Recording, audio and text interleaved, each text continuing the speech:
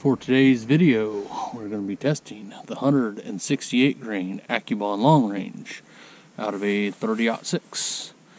My first couple shots will be reduced loads, simulating a longer range shot, trying to test the lower end velocity of the bullets, and then I'll flip my blocks and shoot a high velocity load.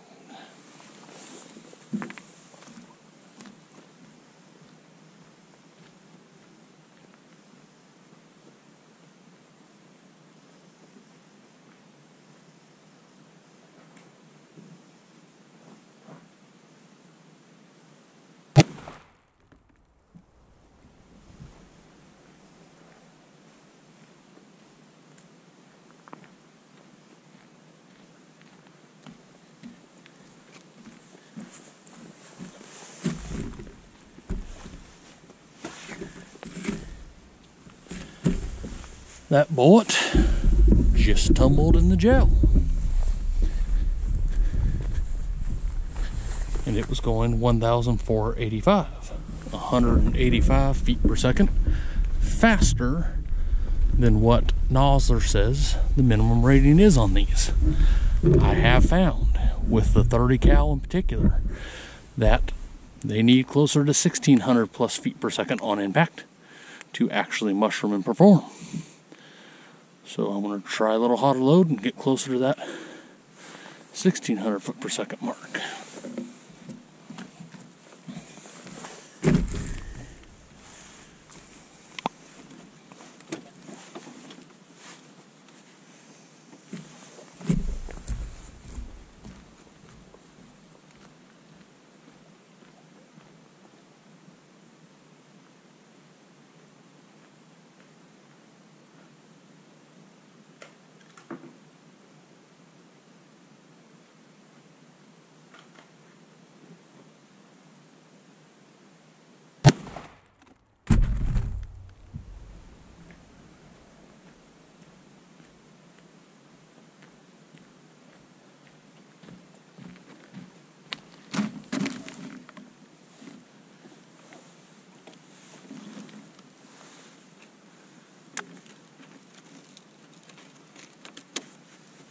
Well, it might be in that board, but.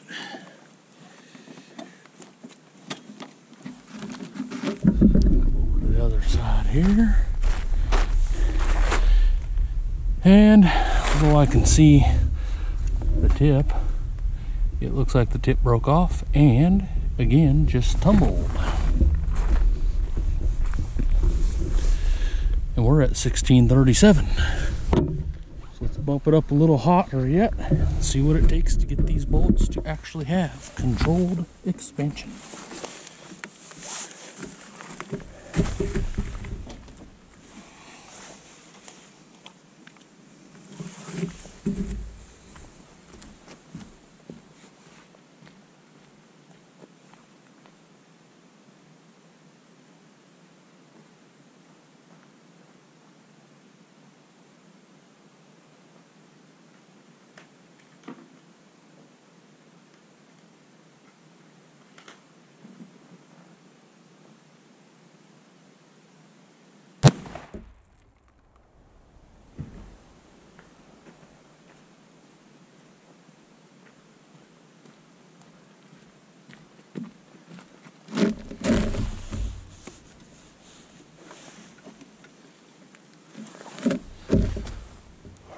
Still didn't catch a bullet.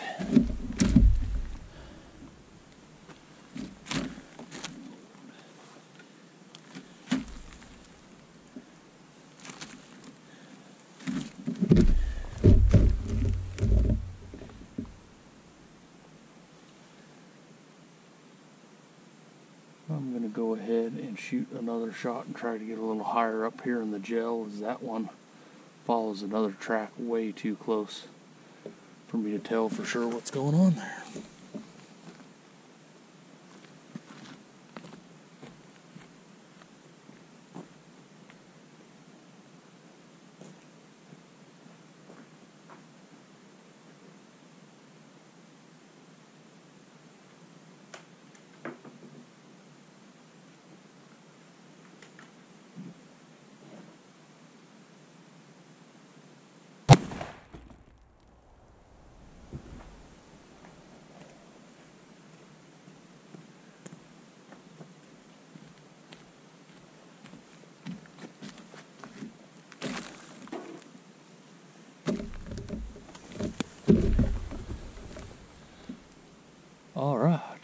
I can see where my bullet stopped in there.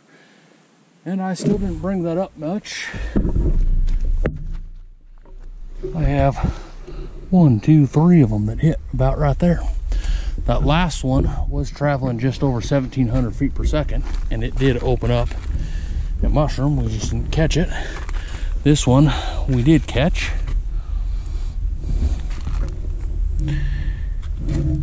So let me get some rough measurements on that quick.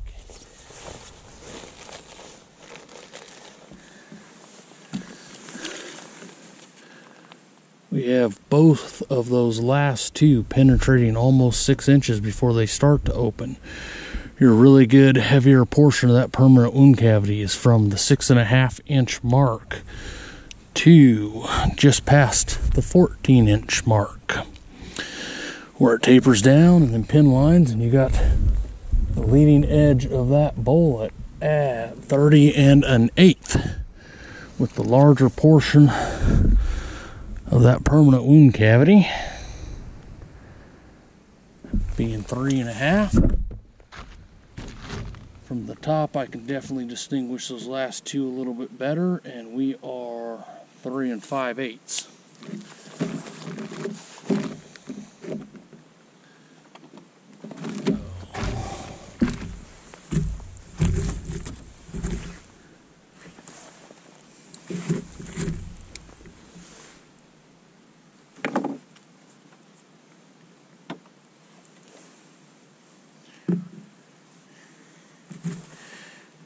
it lost the first chunk of that bullet.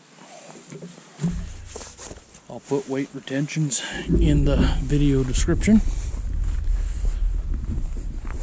That one was going 1,871 feet per second.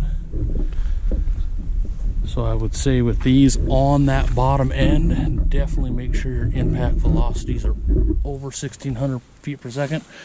Probably be smart to keep them over 1700 feet per second so that you know that bullet's actually going to have controlled expansion and not just tumble.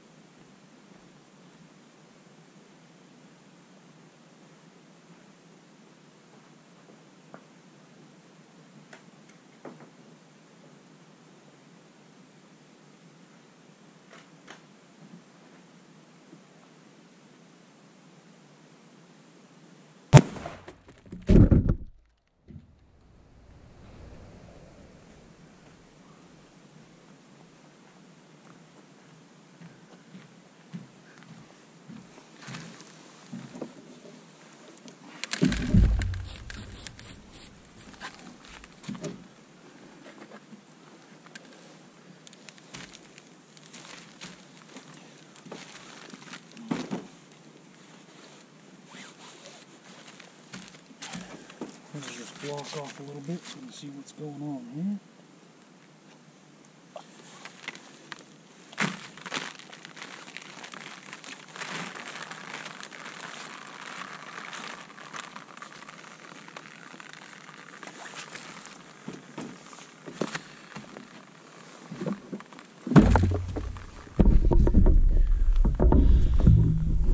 That one was traveling at 2,791 feet per second.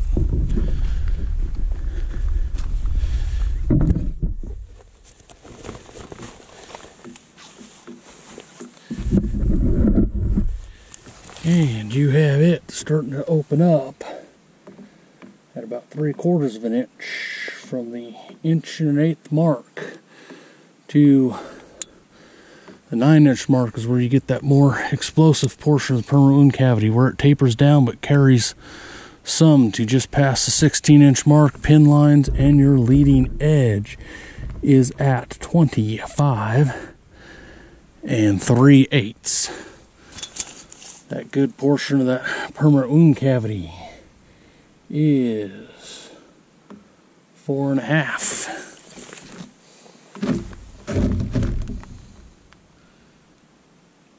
Four and a quarter.